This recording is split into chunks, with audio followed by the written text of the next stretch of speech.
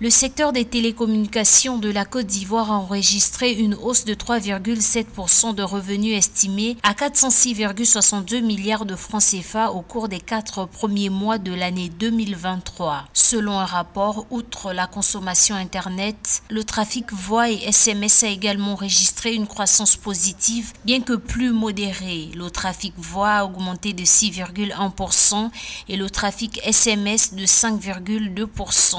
Le volume de gigaoctets consommé, quant à elle, a connu une hausse de 35%. Ces chiffres montrent que les services de télécommunications traditionnels continuent de jouer un rôle important dans l'environnement des télécommunications en Côte d'Ivoire les consommateurs ivoiriens ont su garder un dynamisme quant au volume des gigaoctets consommés, euh, soit euh, la consommation euh, d'Internet qui a augmenté.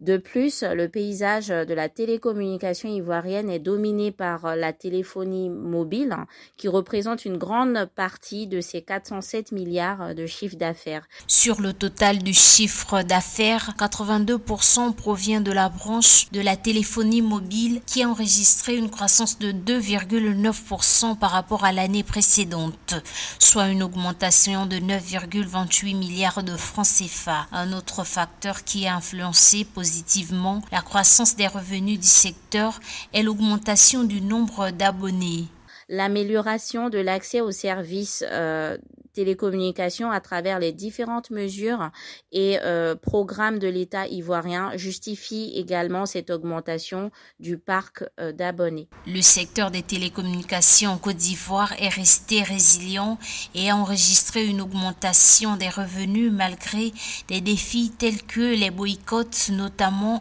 en raison de la hausse des coûts des données l'augmentation de la demande Internet et l'augmentation du trafic voix et SMS ont contribué à cette évolution positive.